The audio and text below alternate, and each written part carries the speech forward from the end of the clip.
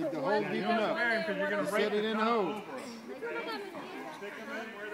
No, you don't have to, but that's okay. Yeah, that's all right if you did. Come on. Go ahead and put your other two out and then get your other three. And then you gotta go around, you gotta fix it. Make sure the skin side's up. Just put the skin side up. Put that skin side up. Okay, look, that potato guy.